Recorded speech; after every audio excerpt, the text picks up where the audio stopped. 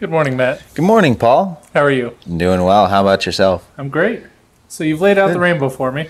Yeah. So what we have here are the uh, Velocity water bottle cages. Um, obviously, they come in quite a few different colors, so you can kind of do the coordination thing on your trike and whatnot.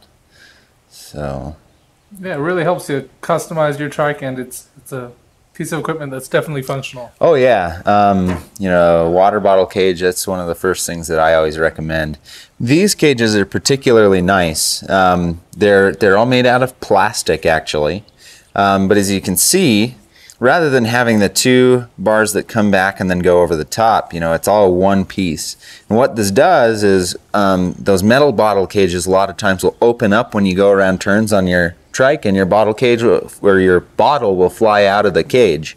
Um, so this one, you know, it's a lot more stiff to get it in and out of the cage, but it holds it in place a lot better. So Matt, it works better than a metal cage, and it's lighter. Yeah, it, it is actually. So um, I don't remember the exact weight, but your average metal uh, metal cage is you know several grams heavier than these ones are.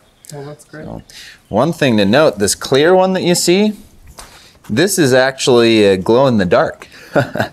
so those are pretty cool. You know, if you do a lot of ri- night riding or anything like that, you can always see where your cage is. Yeah, it's a nifty little safety feature, I suppose. Yeah. So Matt, where are these going to install on my trike? These are going to mount up just like any standard bottle cage will. You know, the, the two bolts, and uh, they're pretty standardized. These will fit 99% of the trikes we carry. That's great. So, yeah. Look great, work great, lightweight. What more can you ask for? You're definitely not at a shortage for options either. So Absolutely. fantastic.